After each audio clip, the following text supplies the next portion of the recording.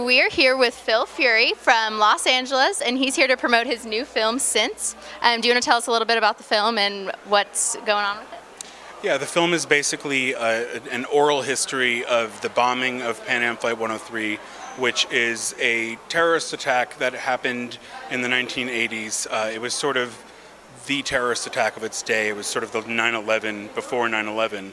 And actually, it was a very groundbreaking event because the United States government really was never faced with this problem before of mass terrorist attacks, and so they didn't really know how to handle this when it did happen. Okay, and then um, you said this is the world premiere of your film. Um, are you excited? Are you nervous? How are you feeling about it?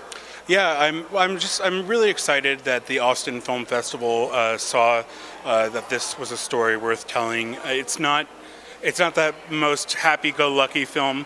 Um, of course, it's about uh, plane bombing where 270 people uh, were needlessly murdered. Um, but I do think it's an important story to tell, and uh, I, am just so glad that the Austin Film Festival was able to see that. Yeah, and you said you've done work as a journalist. Um, did your journalism lead you to the producing and directing of this film, or was were you uh, in the film industry and wanted to tell this specific story? Uh, yeah, I, I have worked as a TV news producer for about 10 years, and actually, it was my coverage of the Academy Awards in uh, Los Angeles over the past 10 years that got me to think that I might be able to make a documentary because I would always interview uh, the nominated documentary filmmakers, and so many of them said to me, "Oh, well, I got started by just working as you did as a news producer," and that kind of got the gears rolling in my head, and I said well, I mean, you know, it's probably just making a documentary film is